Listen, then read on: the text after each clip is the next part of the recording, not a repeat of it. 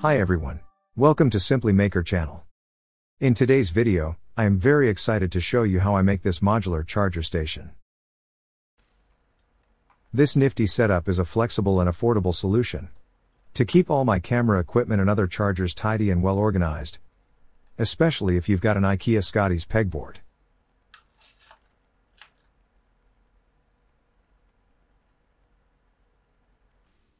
Getting all my various batteries charged up before a shoot was always a bit of a mess. I've got batteries for different camera brands, some for LED lights, and others for wireless gear. Even though I try to keep things simple by using gear with the same type of battery, I still find myself ending up dealing with at least three or four types of batteries. I looked online for solutions, but all of them just didn't fit my needs. Typically, they use a power strip mounted directly on the board, to power each charger, which means dealing with a bunch of AC power wires. Fortunately, most of my chargers use DC input. This means I can simplify everything by using just one power supply and smaller DC wires.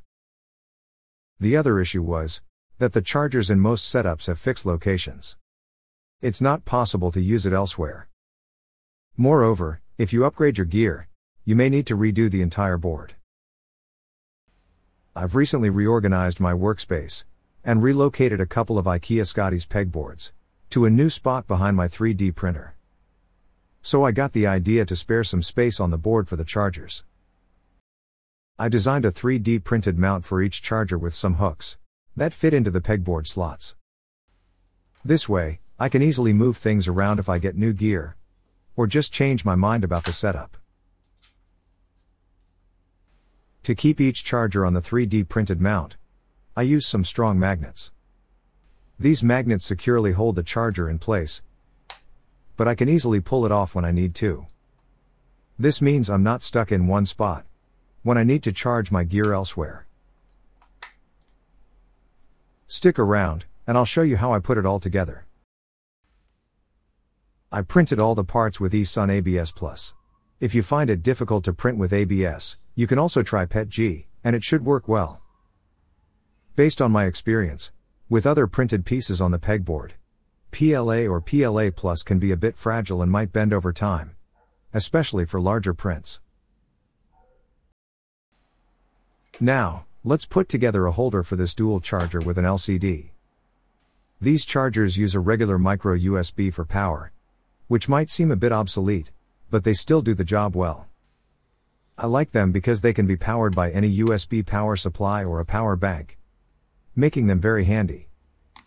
The only downside is they might not charge as fast, but it's good for the battery's overall lifespan. You can get similar chargers like these from different brands, and they work with different types of batteries. This holder should work for those with similar footprints. Begin by gluing the magnet to the charger plate with AB epoxy.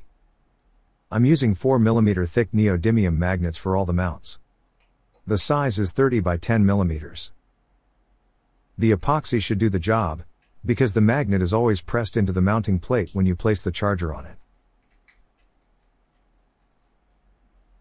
Apply epoxy to the provided magnet slot on the back. Put a thick layer of epoxy in the slot to make sure it fills the space between the magnet and the slot. Don't worry about excess glue, you can easily wipe it off later. Insert the magnet into the slot. To clamp it, I use a couple of extra magnets on the opposite side. To apply pressure between them and the charger plate.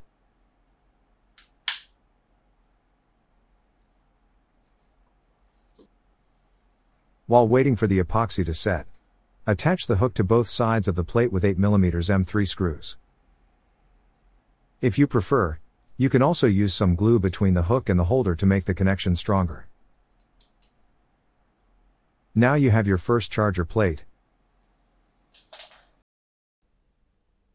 For the charger side, I use a thin self-adhesive metal plate, typically used with a magnetic mobile phone holder. Despite being only half a millimeter thick, these metal plates are quite sturdy. For this charger, I use a 65 by 45 mm rectangular metal plate. To attach it to the charger, simply clean the back surface of the charger and stick the metal plate to the desired location.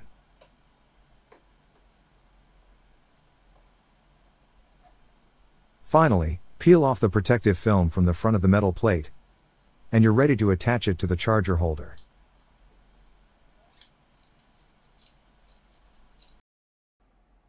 Next, let's move on to making a holder for the XTAR SN4 charger. The XTAR SN4 is a modular multi-battery fast charger with interchangeable battery docking. This charger is cleverly designed to break down into small modules. This allows you to choose a battery module to matches your battery type. These battery modules can attach to each side of the central module, enabling you to charge up to two types of batteries, and a maximum of four batteries simultaneously. The charger operates with a USB C input, supporting only PD3 and QC3 protocols. This means it can't be used with a regular 5 volts USB charger. It requires a minimum of a 45 watts USB power supply. Designing a holder for this charger is a bit challenged due to its multiple docks. Each dock varies in length, and the overall length of the mount must align with the pegboard slots. For my station, I primarily use Sony NP-F W50 and NP-F battery docks. The NP-F battery dock is the longest, nearly twice the length of other docks. So, for this setup, I divided the mount into two pieces.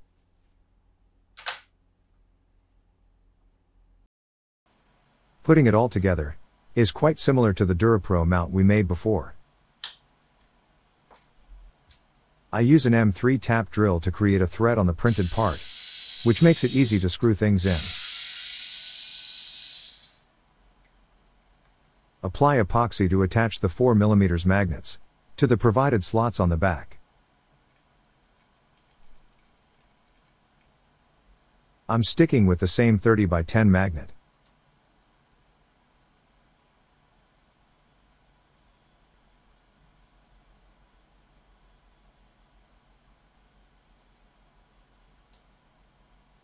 Keep applying pressure to them by attaching additional magnets on the opposite side.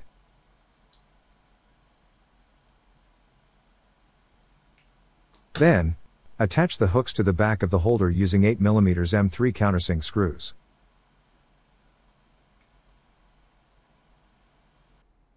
For this charger, I'm going with 40mm circular metal plates. Stick the metal plate to both battery docks. Position them close to the center of the holder, where the magnets are located. Peel off the protective film, and it's now ready to attach to the holder.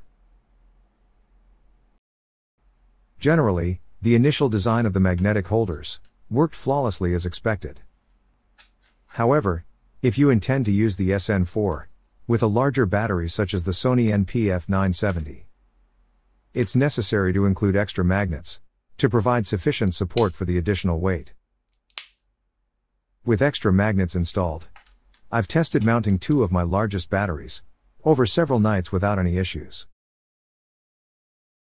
Another important point to highlight is the extra NP-F battery docking doesn't include any battery locking slots.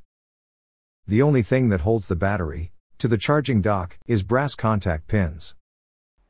When positioned vertically, it won't be firmly bound to the charger plate. Even though XTAR uses larger brass pins compared to other chargers, there's still a risk of damage if it's accidentally pulled forward with force. I've also designed extra holders for other XTAR chargers, which include the VP4 Plus, a 4 cell battery charger, and the more compact VN2 camera battery charger, which shares the same docking as the SN4. Please note that I haven't printed and tested the VN2 holder yet, since I didn't intend to include it in the station. I primarily use it when I'm traveling, and occasionally use it to check the camera battery's health, because this little device can provide more detailed information about the charging status. Additionally, there's an optional single piece holder for a more compact SN4 docking setup. You can find all of these in the download link in the description below. The assembly process is similar for all of them. and they all use the same 30 by 10 magnets.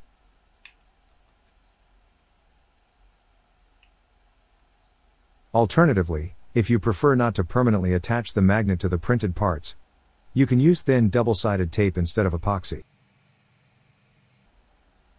Now, with all your holders ready, let's go ahead and attach them to the pegboard.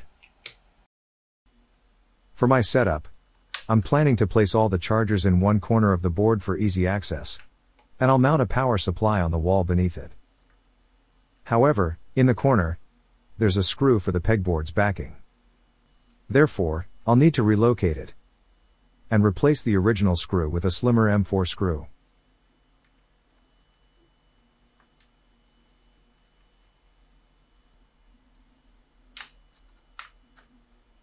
Additionally, when I installed all the holders, I noticed some sagging at the center of the board. To fix this, I designed and printed additional backers. Simply use an M4 tap drill bit to create a thread. And then you can screw it into the slot, where you require extra support.